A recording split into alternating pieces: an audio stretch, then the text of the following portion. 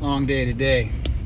All right, I just came from a house where when I walked in, the vinyl, you could almost go surfing on it. It was, it was cupping so bad, unbelievable.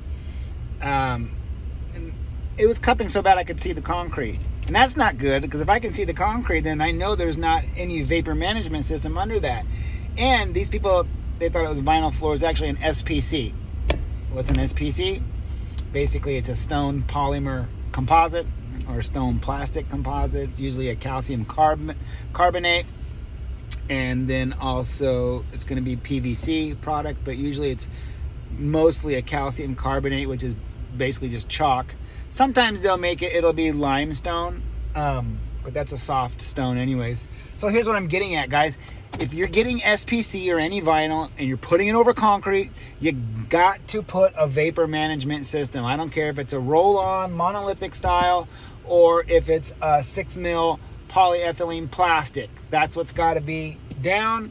You got to mitigate this uh, concrete vapors from getting into the sides of the planks of this SPC or even a WPC, which is a wood particle composite.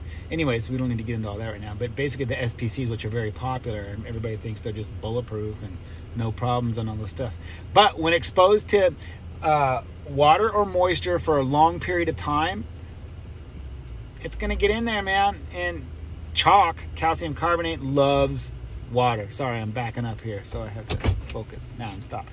So calcium carbonate, which is chalk, which is basically in that product as part of the composite, loves water. You get moisture in there, boom, and it's just it's done in in in a matter of months.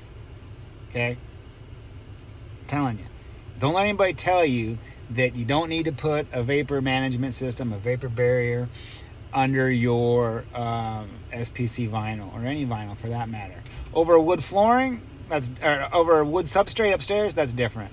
But uh, but also never put these products over wood flooring downstairs. That's another video I do. But anyways, SPC gotta have um, moisture management system installed over the concrete under the SPC. All right. Have a good day.